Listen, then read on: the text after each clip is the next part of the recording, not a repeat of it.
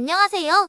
60초로 정리하는 이슈입니다. 트바로티 김호중과 미스터트로트 우승자 안성훈이 함께 론칭한 TV조선의 새 음악 예능 첫 게스트가 확정되며 화제가 되고 있습니다. 지난 14일 김호중 안성훈의 소속사 생각 엔터테인먼트는 두 사람이 작곡가 알고 보니 혼수 상태와 함께 MC에 도전하는 TV조선의 새 예능 프로의 첫 번째 게스트 조영남과 홍진영과 녹화를 진행한다고 밝혔습니다. 이 프로그램은 김호중과 안성훈이 함께 기획한 것으로 가요계 대가들의 다양한 이야기와 무대를 선보일 예정입니다. 김호중과 안성훈은 호흡을 맞추며 첫 게스트인 조영남과 홍진영과 함께 레전드 무대와 앨범에 관한 다양한 이야기를 전달할 예정입니다. 한편 김호중 안성훈 두 사람의 케미가 돋보일 이 프로그램은 올 하반기 방송될 예정입니다. 이상으로 김호중과 안성훈이 론칭한 TV조선 음악 예능 프로그램 첫 게스트에 대한 소식 전해드렸습니다.